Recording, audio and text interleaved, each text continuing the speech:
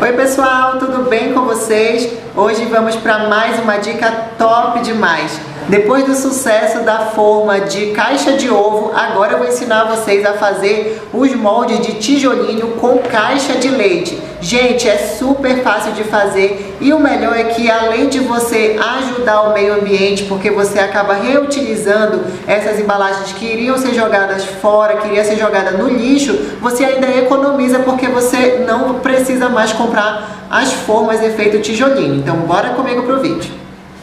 Vamos lá, gente, por passo a passo. Caso você queira que a espessura do tijolinho seja mais grossa, você corta exatamente ao meio. Se caso você quiser mais fininho, que é normalmente o tamanho da espessura que vende nas formas pela internet, você pode cortar menos da metade, que foi o que eu fiz. Eu tirei a medida da tampa e vou aproveitar as duas laterais. Então elas ficam do mesmo tamanho, então todas as formas vão sair iguais.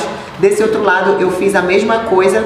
E aqui na parte de baixo, essa abinha aqui que fica para fora, você não corta, porque senão o gesso vai vazar. Então você vira ela pro outro lado, no caso para cá para baixo, e você prende com uma fita. Assim vai ficar bem mais fácil de você manusear essas formas. Caso você queira a superfície do tijolinho bem lisinha, então você pode já colocar o gesso com a forma do jeito que ela tá. Agora se você quer aquelas ranhuras que fica bem bacana, parecendo assim um tijolo bem de verdade mesmo, eu vou te dar duas opções. A primeira é utilizar sacola comum, sacola plástica, para você forrar essa forma aqui. E depois você coloca o gesso aqui em cima. Então quando você tirar, você vai ver que vai ficar com as ranhuras da sacola e é muito fácil de desenformar também, não precisa passar óleo. Duas formas eu vou fazer com a sacola e outras duas formas eu vou fazer com o papel alumínio. No lugar da sacola, você vai colocar o papel alumínio e dar uma amassadinha para ficar com essas ranhuras também do efeito do tijolinho. Agora vamos passar para o passo a passo da preparação do gesso.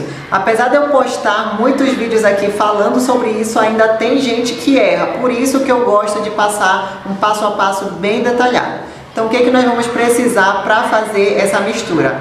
Apenas da água e do gesso. Caso você vá fazer esse tipo de molde para colocar na área externa, você precisa utilizar um hidrofugante que eu utilizo o SOS Gesso da nossa parceira aqui do canal da Dry Leves e toda vez que eu utilizo esse produto, a minha peça fica impermeável. Então você pode colocar tranquilamente na área externa que não vai absorver a água e dessa maneira evita com que a peça vá se desgastando com o tempo e fique feia. Bom, caso você não vá colocar na área externa, é muito simples de fazer a preparação.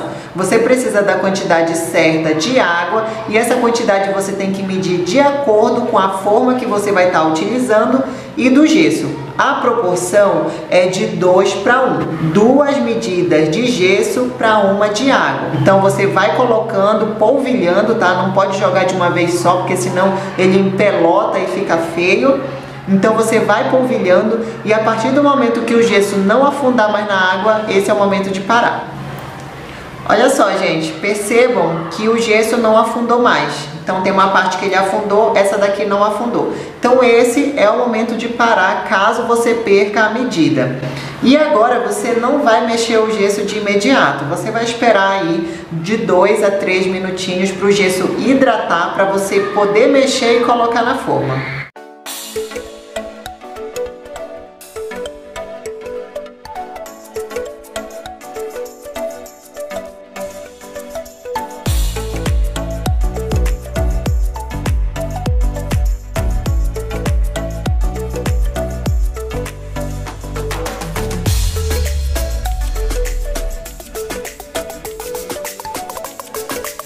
Agora, depois de ter passado alguns minutinhos, aproximadamente 30 minutos, as formas já estão bem sequinhas, bem duras, então você consegue perceber que elas ficam até quentes.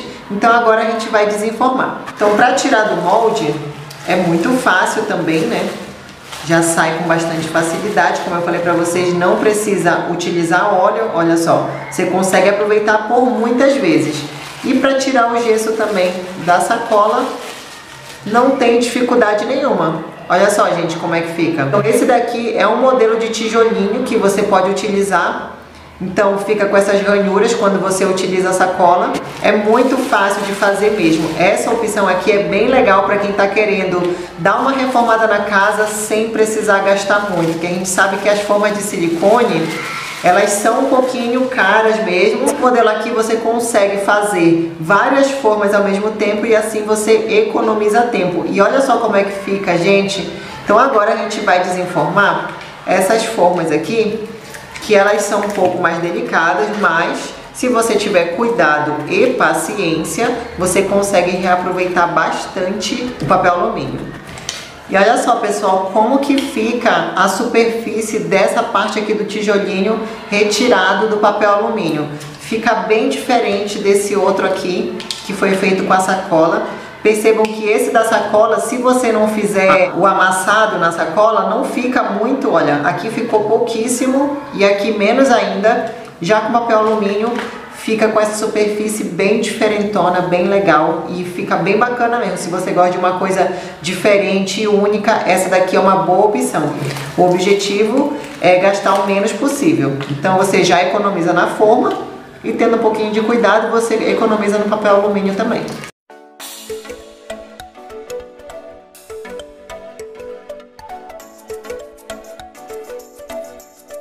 Olha só como foi que ficou, gente. Consegui tirar o papel alumínio inteiro, então ele já vai aproveitar para mais uma forma. E olha a diferença que fica. Fica bem bacana. Se caso você não quiser muito, com muitas ranhuras, você pode amassar menos o papel alumínio, que vai ficar bem legal. E olha a diferença aqui, gente, de um para o outro. Então esse daqui fica bem legal. Eu gosto mais desse modelo porque parece uma coisa mais realista Inclusive, eu já fiz uma parede inteira só com essa técnica aqui, utilizando o papel alumínio. E olha só no vídeo como foi que ficou a parede. Ficou muito bacana, bem legal. O efeito deixa com um visual bem realista e fica uma coisa bem diferente mesmo, gente. E se você quiser ver esse vídeo completo, eu vou deixar o link aqui na descrição. E esse daqui é o resultado final das formas de gesso 3D feitas com a caixa de leite, essa caixa comum mesmo. Gente, aqui eu vou dar mais uma dica para vocês de evitarem de comprar a caixa de leite que tenha essa inclinação, porque o gesso acaba ficando assim e na hora de você fazer a montagem não vai encaixar, não vai dar certo. Então, se você estiver pensando em fazer essas formas de tijolinho com a embalagem do leite, então dê preferência para embalagens que tenham essa parte daqui da tampa, que ela seja mais reta. Bom, gente, esse daqui foi o vídeo de hoje, a dica de hoje. Espero que vocês tenham gostado. Se vocês gostaram do conteúdo, deixa seu like. Aproveita para se inscrever aqui no canal e não esqueça de ativar o sininho para não perder o próximo vídeo. Um beijo, fiquem com Deus e nos aguardem nos próximos vídeos com muitas dicas legais. Tchau, tchau!